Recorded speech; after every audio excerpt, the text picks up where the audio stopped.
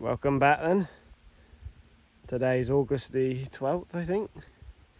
And uh, we're drilling some, well, Dougal up on the hill up there. He's drilling some winter oilseed rape up there with the John Deere and the Sky drill. We can't really see him that well, but I'm just here with the cab at the moment. Anyway, yeah, it's absolutely pouring it. But anyway, yeah, so that's what's going on.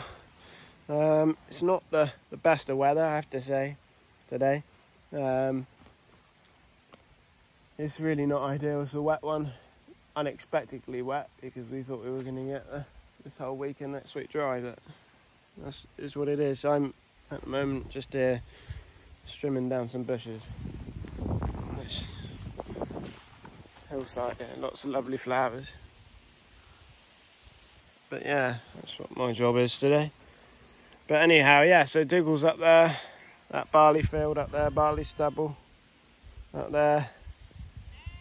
Um, we're only harvesting that on the 19th of July, so it's a quick turnover with winter oilseed rape. You know, it doesn't take long to get in the ground.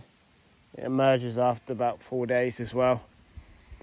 Um, I don't think we're spraying pre-emergent on it this year. I'm not entirely sure yet of you know, it's something I'm learning about. But yeah, anyway, uh, yeah, it's a wet, damp, old, horrible day. But anyway, um, I think I'll leave it there. It's only a brief one to say that we've just started basically drilling, and um, yeah, it's how quickly farming. You know, you think, okay, we've harvested, but we're already thinking they're already thinking about the next thing to go into it. But you see all the mist and rain all around us. Barely see anything from up there. Normally, it's a clear view very far into the distance, but not today. It's a wet one on the view of the hill. Nice wood next to me. Lovely area, peace and quiet. So yeah, I'm gonna leave. I'm gonna leave everyone to it now, and I'm gonna carry on strimming. So enjoy.